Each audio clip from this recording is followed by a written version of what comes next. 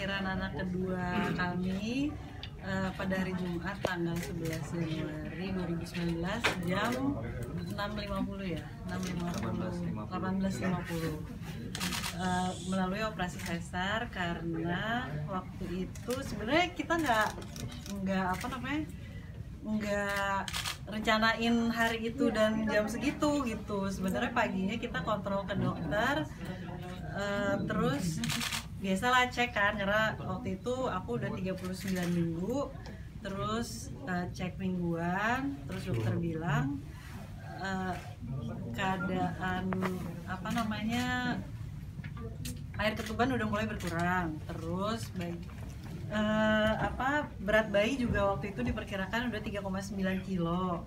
Padahal itu kan sebenarnya aku rencananya pengen lahiran normal cuman karena udah segitu besarnya akhirnya eh, kita berdua mikir wah ini kalau di terus aku belum mulus juga kalau mau normal. Setelah sesar kan aku harus eh, apa namanya nggak boleh diinduksi nggak boleh apa-apa gitu. Jadi sealami mungkin harus mules dan segala macam. Nah karena aku nggak mules-mules akhirnya dokter juga bilang kan ini bukan nakutin gitu. Cuman kondisi bayinya udah besar dan nanti takutnya karena bayinya udah besar terus takutnya em, apa namanya untuk normal juga lebih susah gitu. Akhirnya aku juga nggak mau ngambil resiko kan gitu. Akhirnya kita berdua ya udah kita sepakat eh kenapa nggak malam ini aja? Gitu.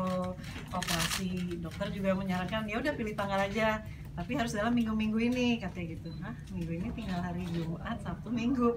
Ya udahlah oke malam ini aja deh gitu. Kita berdua bilang terus dokter Um juga bilang oh mau malam ini. Boleh habis maghrib ya gitu. Oh ya udah. Gitu. Jadi semuanya tuh spontan banget. Terus aku juga belum nyiapin koper rumah sakit belum nyiapin apa-apa karena emang nggak niat mau lahiran hari itu. Cuman karena setelah udah cek sama dokter terus dirasa ya udah deh hari hari itu juga udah bisa melahirkan ya udah kita putusin untuk malam itu kita operasi sesar